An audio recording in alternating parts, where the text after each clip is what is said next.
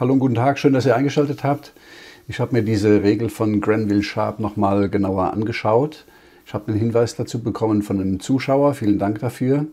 Ich habe die Regel bisher so verstanden, dass die, äh, diese Regel von Granville Sharp nicht angewendet werden darf auf Sachen. Es ist aber so, dass äh, zwei Substantive eine Person beschreiben und das unter bestimmten Voraussetzungen. Aber weil diese Kritik der Anwendung der Granville-Sharp-Regel auf 2. Thessalonicher 2, Vers 1 auch exakt sein soll, habe ich das Video nochmal korrigiert und überarbeitet und das Ergebnis seht ihr im folgenden Video. Hallo und guten Tag, schön, dass ihr eingeschaltet habt. Ich möchte euch nochmal was zeigen und zwar habe ich mich nochmal mit dieser Predigt auseinandergesetzt von Roger Levy und habe mir nochmal diese Granville-Sharp-Regel hervorgeholt und die nochmal genau angeschaut, weil da werden ja schwere Geschütze aufgefahren, jetzt äh, mit ganz speziellen linguistischen, grammatikalischen Konstruktionen und die werden angewendet von Roger Libby, wie man nicht darf. Aber schaut es euch mal an, ich zeige euch erst den Ausschnitt, dann zeige ich euch die, euch die Granville-Sharp-Regel und danach schauen wir uns kurz an, warum Roger Libby das so macht. Ja? Bis später. Die Formulierung im Griechischen entspricht der sogenannten äh, Regel von Granville Sharp. Das ist ein bekannter Name in der, in der griechischen Grammatik. Diese Regel muss man unbedingt lernen und wenn man Griechisch studiert und dann werden viele schwierige Stellen plötzlich ganz einfach und klar. Und da ist die Regel so, dass der Ausdruck die Ankunft und unser Versammeltwerden, dass das dieselbe Sache ist. Ja, hier zeige ich euch mal die Granville-Sharp-Regel. Und zwar ist das auf einem Blog reformiert, blog wordpress.com, seht ihr hier oben den Link. Und der schreibt hier, Granville-Sharps Regel nach Granville-Sharp selbst lautet, wenn das Kopulative und zwei Substantive desselben Falls miteinander verbindet, nämlich Substantive, entweder Substantiv, Adjektiv oder Partizipien, die eine Person beschreiben, die Bezug nehmen auf ein Amt, einen Rang, eine Verwandtschaft oder eine Verbindung, Eigenschaft, Qualitäten, gute wie schlechte, wenn der Artikel ho, egal in welchem Fall, dem ersten der beiden besagten Substantive oder Partizipien vorausgeht und nicht vor dem zweiten Substantiv oder Partizip wiederholt wird, dann bezieht sich das Letztere immer auf dieselbe Person, die durch das erste Substantiv oder Partizip beschrieben oder dargestellt wurde und ist damit eine weitere Beschreibung der zuerst genannten Person. Der entscheidende Punkt für den Leser von Sharps Werk ist dieser. Sharps Regel gilt nur für Singulare, nicht für Plurale. Und sie soll nicht auf echte Namen angewendet werden. Seine Regel kann nur auf Personen angewendet werden, nicht auf Sachen. Schauen wir uns das mal hier an unserem Beispielvers an. Tychikus, der geliebte Bruder und treue Diener im Herrn. Tychikus ist also ein geliebter Bruder und ein treuer Diener. Das heißt, Bruder und Diener sind beides Beschreibungen von Tychikus. Laut der Granville-Sharp-Regel beschreiben ja die beiden Substantive die dann im Text genannte Person. Würden wir das aber auf 2. Thessalonicher 2, Vers 1 anwenden, dann wären ja diese beiden Substantive eine nähere Beschreibung der Person Jesu Christi dann wäre die Ankunft unseres Herrn Jesus Christus und unser Versammeltwerden zu ihm hin eine nähere Beschreibung von Jesus Christus. Und das macht überhaupt gar keinen Sinn. Denn Jesus Christus ist nicht die Ankunft und auch nicht das Versammeltwerden oder die Entrückung. Das macht also keinen Sinn, das wollte aber auch Roger Libby nicht sagen. Er wollte sagen, dass die Ankunft unseres Herrn Jesus Christus und das Versammeltwerden zu ihm hin ein und das gleiche Ereignis wären. Und er versucht das mit der Granville-Sharp-Regel zu begründen. Aber das würde ja bedeuten, dass Epheser 6, Vers 21 so verstanden werden könnte, als ob Bruder das gleiche wäre wie Diener. Und das ist es eindeutig nicht. Ein Bruder ist kein Diener und ein Diener ist kein Bruder, sondern beide Substantive werden verwendet, um zwei unterschiedliche Eigenschaften von Tychicus zu beschreiben. Dass er nämlich einerseits Bruder und andererseits Diener ist. Hieraus kann man also auch sehen, dass die Anwendung der Granville-Sharp-Regel auf 2. Thessalonicher 2, Vers 1, so wie Libby sie angewendet wissen will, nicht möglich ist, wenn damit begründet werden soll, dass die Ankunft unseres Herrn Jesus Christus dasselbe wäre wie unser Versammeltwerden zu ihm hin. Das bedeutet also, dass die Granville-Sharp-Regel auf 2. Thessalonischer 2, Vers 1 nicht angewendet werden kann, so wie Roger Libby das in seiner Auslegung tut. Wie man sieht, ist Granville-Sharps Regel viel mehr begrenzt in seiner Anwendung, als die modernen Definitionen das deutlich machen. Das bedeutet also, dass man mit der Granville-Sharp-Regel viel mehr erklären will, als die Granville-Sharp-Regel überhaupt selbst zulässt. Also man darf das nicht ausweiten auf Themen, die durch diese Granville-Sharp-Regel nicht abgedeckt sind. Und das tut Roger Libby leider in seinem Video hier. Die Formulierung im Griechischen entspricht der sogenannten äh, Regel von Granville-Sharp.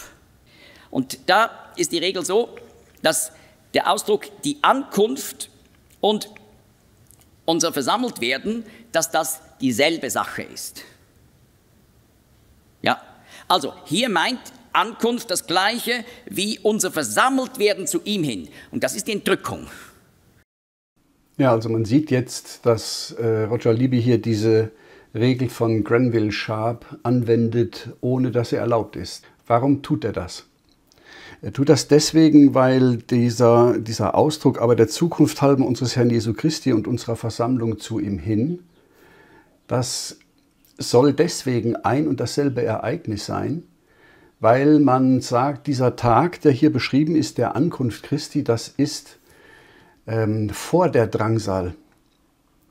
Wenn man nämlich annehme, dass dieser Tag der Ankunft Christi der ist, den Paulus in 2. Thessalonischer 1 beschreibt, und das ist übrigens der, der Gesamtzusammenhang dieses Textes, dann wäre das ja der Tag, ähm, an dem Jesus Christus wiederkommt und er herrlich erscheint mit seinen Heiligen, also mit der Gemeinde Jesu und wunderbar mit allen Gläubigen. Und das ist der Tag, an dem der Herr Jesus offenbart werden wird vom Himmel samt den Engeln seiner Kraft und mit Feuerflammen Rache zu geben über die so Gott nicht erkennen und über die so nicht gehorsam sind, dem Evangelium unseres Herrn Jesu Christi, welche werden Pein leiden. Das ist der Tag ähm, der Wiederkunft Jesu Christi auf dem Ölberg mit seiner Gemeinde. Davon schreibt Paulus in 2. Thessalonischer 1 und das ist auch der Sinnzusammenhang. Und um eine Verbindung jetzt von Vers 1 in Kapitel 2 mit diesem laufenden Gedankengang aus ähm, Kapitel 1 zu unterbrechen, verwendet Roger Libby, ohne dass er das darf, ohne dass das erlaubt ist, diese Regel von Granville Sharp, um diesen Gedankengang zu unterbrechen und einen neuen Tag hier einzuführen. Ja, den Tag, an dem Jesus Christus kommt in Wolken, um seine Gemeinde zu holen, die aber nicht der Tag des Gerichtes ist. Ja, also in 2. Thessalonischer 1 hat er geschrieben von dem Gerichtstag, wenn Christus kommen wird mit seinen Heiligen in großer Macht und Herrlichkeit, mit Feuer und mit äh, Gericht über alle die, die nicht geglaubt haben. Das ist aber der Tag, an dem Jesus Christus auf den Ölberg wiederkommt und mit seiner Gemeinde zusammen äh, Gericht üben wird an denen, die dann Jerusalem belagern. Ja? Und äh, dieser Tag ist halt nach der 70. Jahrwoche, am Ende der Trübsal, nach der Trübsalzeit, nach der Drangsalzeit. Und weil Roger Libby dieser Vorentrückungslehre anhängt, deswegen verwendet er hier die Regel nach Granville Sharp, aber regelwidrig. Und das finde ich heftig. Ja? Er müsste das wissen. Er ist Doktor der Theologie, er kennt sich da aus. Ähm, er tut das trotzdem nicht diese Regel dort, dort eben nicht anzuwenden, sondern er wendet sie regelwidrig an, um die Lehre der Voreindrückung zu stützen. Ich wollte euch nur zeigen, welche Klimmzüge hier ähm, unternommen werden, um eine Theologie zu verteidigen. Und das ist das, was ich euch sage. Ihr bekommt in vielen Predigten im Internet nicht Bibel, sondern ihr bekommt eine Theologie oder ihr bekommt ein Lehrgebäude vorgesetzt. Das ist dasselbe im Buch Daniel, wenn in Daniel immer vom Römischen Reich gesprochen wird. Ja? Ich werde ja nicht müde, das zu sagen. Aber im ganzen Buch Daniel kommt nicht einmal das Römische Reich vor, kann man sich kaum vorstellen, sucht es nach, ist halt so. Ja? Es gibt eine andere Linie, die dort gezeichnet wird, möchte ich jetzt aber nicht drauf eingehen. Aber an diesen Dingen wie hier, ähm, wo diese, diese großen Geschütze, diese großen grammatikalischen Geschütze aufgefahren werden, nur um eine Theologie zu verteidigen, das ist schon heftig. Fühlt ihr euch da vielleicht auch hintergangen? Ist das noch ehrlich, was man hier tut?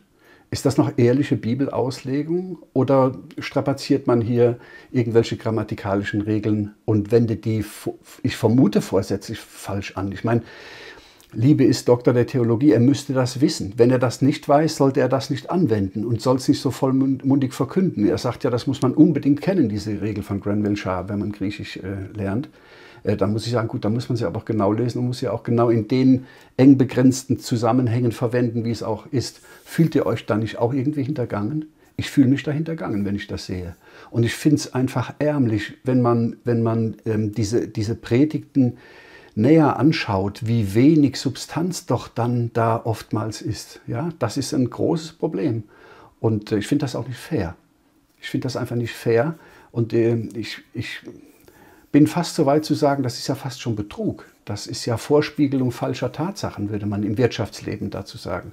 In der Theologie kann man das tun weil das eigentlich niemand sanktioniert. Ja? Beschäftigt sich auch niemand groß mit, mit der Granville-Sharp-Regel und alle sind natürlich erstmal total erschrocken. Oh, so ein großes Wort, Ungetüm und der kennt sich aber echt super aus. Und wenn man das dann nachsieht, dann, dann sieht man, dass, dass das vollkommen falsch ist, was, was er da sagt und behauptet. Und das schadet dem Evangelium. Das schadet dem Evangelium, schadet auch der Prophetie schade der Endzeitlehre, der Eschatologie oder Eschatologie, wie man da auch immer sagen will, zu. Ähm, ich sage ja auch immer Roger Libby statt Roger Libby. Ja, ich weiß das, aber ich habe es mir so angewöhnt. Also für mich ist er der Roger Libby. Und ähm, ich finde das schade, weil er müsste das wissen und er kann mehr. Aber wenn er es besser weiß, warum tut es dann? Warum, warum, warum macht er diese Klimmzüge entgegen jeglicher Bibelauslegungslehre und warum verklittert er den Text dermaßen. Das finde ich heftig und das ist nicht in Ordnung. Ja? Es geht mir nicht um die Person vom Roger Libby. Ja, ich kenne den überhaupt nicht persönlich. Ich habe dann und dann mal ein bisschen Mailkontakt mit ihm gehabt.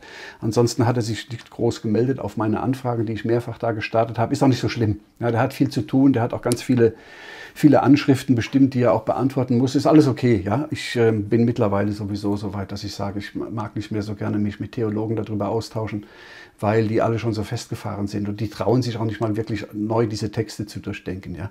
Ich freue mich über jeden, der das sieht, der das nachvollzieht. Ich will nur diese falschen Auslegungen, die über diese Bibelstellen kommen, wo wo ganze Lehrgebäude aufgebaut werden und wo den Leuten eingeredet wird, morgen kann schon die Entrückung kommen oder heute kann schon die Entrückung kommen. Und in so Zeiten wie jetzt, die Leute seit zwei Jahren auf die Entrückung warten und sind ständig enttäuscht, die sind ja ständig, die sind ja nachher enttäuscht am Wort Gottes weil solche verantwortungslosen Auslegungen gemacht werden. Ja, die sind, die sind enttäuscht und glauben, die Bibel wäre falsch, weil sie diesen falschen Auslegungen glauben. Und das, finde ich, darf man tun, dass man so eine Auslegung sich mal anschaut und mal auf den Busch klopft und sagt mal, ist das denn so, wie der das sagt? Ja, ich wünsche mir das auch, wenn ihr meine Videos anschaut. Ja, ich wünsche mir nicht, dass ihr mir einfach so hinterherlauft wie dem Roger Libby, weil dann lauft er dem Dritten auch wieder hinterher. Mir geht es darum, steckt die Nase in die Bibel, prüft das nach, was geschrieben steht. Und das, was ihr gepredigt bekommt, prüft das nach. Paulus sagt das auch, ja. Prüfet alles und das Gute behaltet. Prüfet alles. Das haben wir hier gemacht. Roger Libby fällt wieder durch mit seiner ähm, Auslegung hier, finde ich sehr schade, hätte ich mir anders gewünscht, ja, weil das sehr an seiner Glaubwürdigkeit ähm, ähm, weil das seiner Glaubwürdigkeit sehr, sehr schadet. Ja? Und äh, er ist wirklich einer der, der Exponenten in der evangelikalen Lehre. Warum macht er sowas? Das hätte er eigentlich nicht nötig. Ich schließe hier. Äh, in den nächsten Tagen, habe ich schon mal gesagt, würde ich gerne nochmal diesen äh, Thessalonischer Brief auch lesen mit euch und zwar mit dem, was wir uns bisher erarbeitet haben. Ich glaube, dass die Ergebnisse deutlich besser sind, deutlich belastbarer sind. Ähm, der Paulus ruft die Thessalonicher auch immer wieder zur Nüchternheit auf. Und ich glaube, dass in Thessaloniki einige gewesen sind, die gesagt haben, die Entrückung kommt, kommt bald, die ist jetzt demnächst. Und dann haben die ange, äh, angefangen und dann haben die aufgehört zu arbeiten. Ja? Die haben aufgehört zu arbeiten und haben Unsinn getrieben ja? und haben äh, sich einem unordentlichen Wandel hingegeben, weil die gesagt haben, die Entrückung kommt ja eh bald. Ja? Das war der Punkt. Und Paulus sagt, von dem, was ich euch gesagt habe, dass vor der Entrückung noch Dinge passieren müssen, dass nämlich Israel auseinanderbricht und dass Jerusalem doch wiedergeboren werden muss und dann erst der Antichrist offenbar werden wird. Ähm, lasst euch von dieser guten Lehre nicht wegbringen in eine Unnüchternheit. Und diese Unnüchternheit heißt, die Entrückung kann jederzeit kommen. Das ist der Kern von dem. Es ist also genau umgekehrt ähm, im Vergleich zu dem, was ihr immer hört. Ich weiß, dass das heftig ist. Ich weiß, dass ich auch dafür angegriffen werde. Das ist mir aber egal. Ja? Es geht um Gottes Wort und da halten wir uns dran. Ja. Ich danke fürs Einschalten, wünsche euch alles Gute, Gottes Segen und bis bald.